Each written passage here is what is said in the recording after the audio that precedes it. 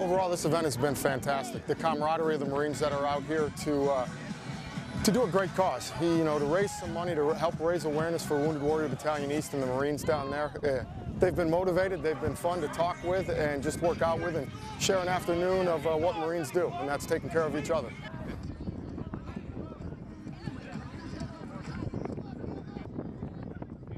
It's not just about the Marines, it's about the families. When you're down at Wounded Warrior Battalion East and you're working with Marines and you're working with the families, you see how it is where Marine is having a good day, the family's having a good day. Marine's having a bad day, the family's there to pick that Marine up and to help him have a good day. So it has really helped me see uh, the Marine Corps is it's one big family. It's about the Marines, it's about their, their spouses, it's about their kids. And so that has really, really made a big impact on me and in my family. There's no rank out here. So you have a PFC that just got to the fleet two months ago who is doing flutter kicks with the Sergeant Major of Cherry Point. We're out here doing the right thing. That's what the reawakening is about, is remembering, going back to our roots, going back to our brotherhood, the sisterhood. We're out here right now supporting our brothers and sisters.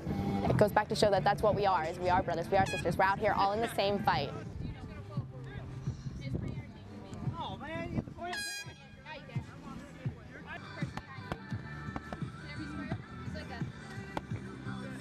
I have the open door policy with my sergeant major where I can go in and talk to him. And I said, let's do this. And it turned from a MACS two event into a base wide event. And then it just took a lot of coordinating, a lot of paperwork, and now we have this.